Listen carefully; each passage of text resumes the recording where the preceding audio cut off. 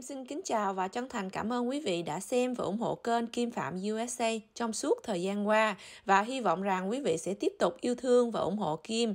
Kim Phạm mến chúc cô chú bác và anh chị em nhiều sức khỏe, an lành và hạnh phúc. Chương trình cập nhật news sẽ được Kim phát sóng mỗi buổi chiều vào thứ hai đến thứ sáu hàng tuần.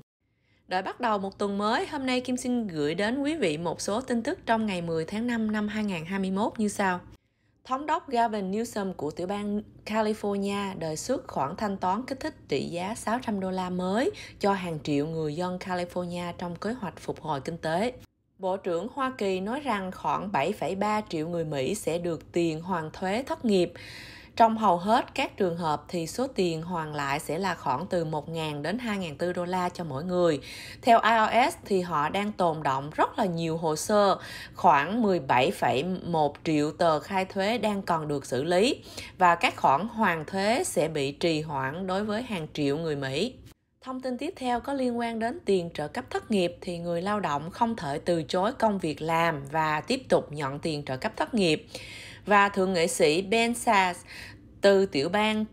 uh, Nebraska sẽ giới thiệu một dự luật mới sẽ trao tiền thưởng cho nhân viên mới thuê và thông tin cuối cùng thì quý vị có chỉ còn 7 ngày nữa để yêu cầu khoản tiền hoàn thuế từ IRS này trước khi nó biến mất vĩnh viễn thì Kim mời quý vị tiếp tục theo dõi bản tin chi tiết này nha.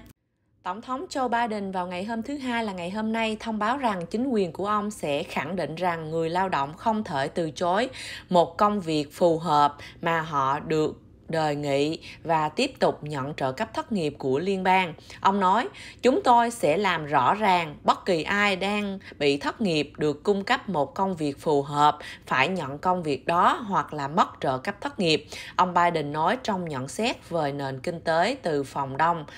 sau khi một báo cáo hàng tháng cho thấy tăng trưởng việc làm chậm lại vào tuần trước, thì đảng Cộng Hòa và các nhóm doanh nghiệp đã lập luận rằng trợ cấp thất nghiệp bổ sung khuyến khích những người không đi làm việc và nên loại bỏ nó. Thì một số công nhân nhất định có thể nhận được khoản trợ cấp thất nghiệp bổ sung 300 đô la hàng tuần thông qua gói giải cứu coronavirus trị giá 1,9 nghìn tỷ đô la mà ông Joe Biden đã ký thành luật vào hôm tháng 3. Thì các lợi ích này gia tăng dự kiến sẽ kéo dài đến tháng 9 ngày 6 của năm 2021 đó quý vị. Thì các nhà phê bình cho rằng báo cáo việc làm đáng thất vọng mới nhất là bằng chứng một số người không quay trở lại làm việc vì những lợi ích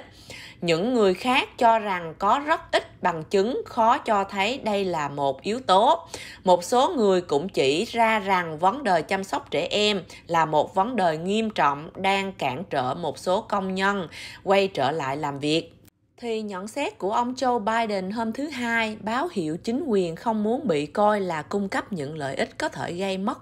hứng thú làm việc cho người dân thì tổng thống khẳng định không có bằng chứng nào cho thấy việc mở rộng trợ cấp thất nghiệp, góp phần làm giảm tốc độ tăng trưởng việc làm trong tháng tư cả. Bộ Lao động dự kiến sẽ gửi một lá thư tới các tiểu bang trong tuần này để tái khẳng định rằng các cá nhân đang nhận bảo hiểm thất nghiệp có thể không tiếp tục nhận trợ cấp nếu họ từ chối một công việc phù hợp do mối quan tâm chung chung không cụ thể về COVID-19.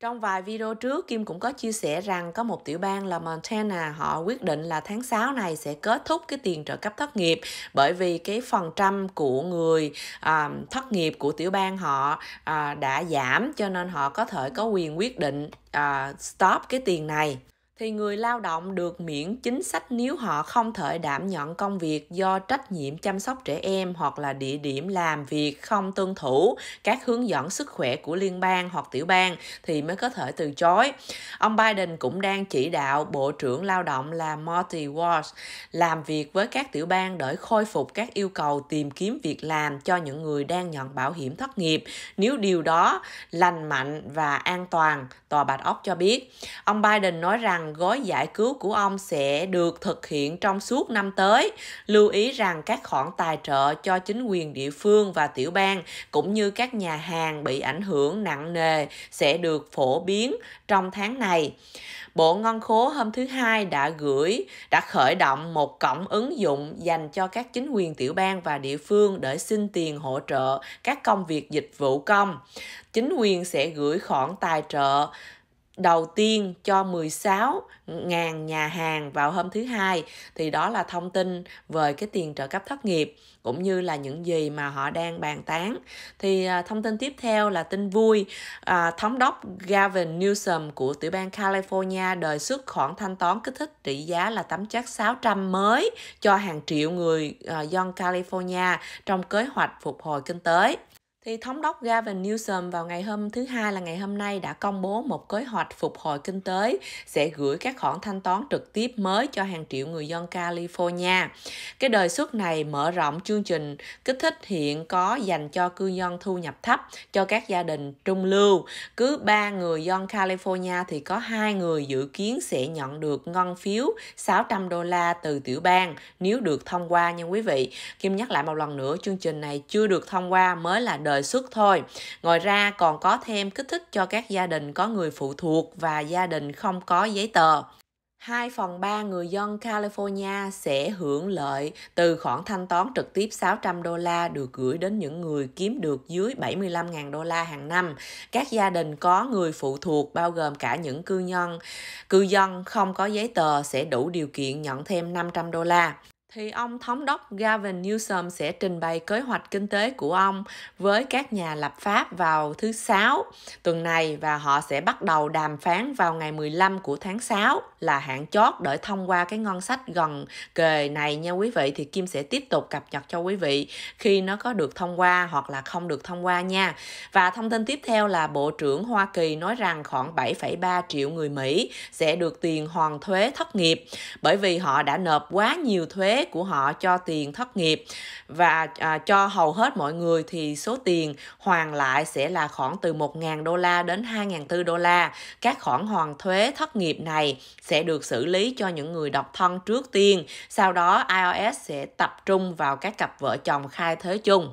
Theo IRS thì họ đang tồn động khoảng 17,1 triệu tờ khai thuế còn được xử lý. Các khoản thuế hoàn thuế sẽ bị trì hoãn đối với hàng triệu người Mỹ. Và sau đây là những lý do mà làm cho chậm trễ. Quý vị nghĩ sao về những lý do này nha. Thì những cái lý do của họ là vì Covid phải cách xa xã hội đã, đã làm chậm trễ. Họ nói rằng chương trình giảm thuế mới của tiền trợ cấp thất nghiệp cũng đang làm chậm trễ. Rồi à, xử lý những tấm chắc kích thích cũng gây gây ra thêm nhiều công việc cho họ và nhiều uh, cái uh, khác nhau nữa. Cho nên quý vị nào mà vẫn chưa nhận được tiền hoàn thuế của mình thì quý vị không phải là người duy nhất nha bởi vì có hàng triệu người Mỹ vẫn đang còn chờ tiền hoàn thuế của họ và thông tin vui tiếp theo đó là thượng nghệ sĩ Ben Saad nói rằng trợ cấp thất nghiệp mở rộng đã ngăn cản mọi người quay trở lại làm việc, thì ông ta đời, sẽ đề xuất một dự luật chuyển hướng lợi ích mở rộng sang việc là ký ký kết tiền thưởng cho những người à, mới được thuê. Ông nói trong một tuyên bố, chúng ta phải đưa nước Mỹ và người Mỹ hoạt động. Thượng nghị sĩ Ben của tiểu bang Nebraska hôm thứ Bảy cho biết là ông sẽ ban hành luật để cấp tiền thưởng ký kết cho những người mới tuyển dụng vì báo cáo việc làm mới nhất vào thứ Sáu không như mong đợi. Trong một email thì ông Sass nói rằng đạo luật tiền thưởng ký kết quốc gia được đề xuất sẽ chuyển hướng các khoản trợ cấp thất nghiệp mở rộng, vốn là cứu cách cho hàng triệu người Mỹ trong đại dịch COVID-19 sang việc ký kết các khoản thanh toán tiền thưởng cho nhân viên mới.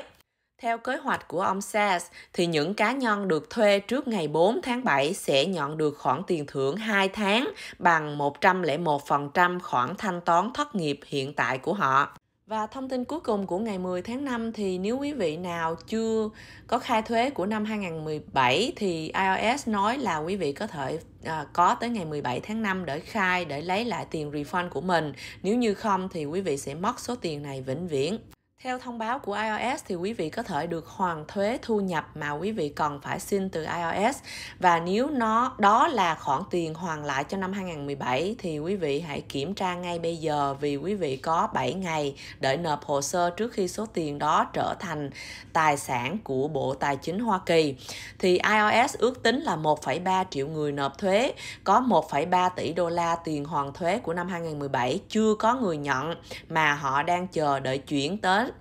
thì nếu quý vị không nộp tờ khai thuế thu nhập liên bang cho năm 2000 cho 2017 thì để được hoàn thuế thu nhập của năm 2017 quý vị còn phải yêu cầu trước ngày thuế, tức là ngày 17 tháng 5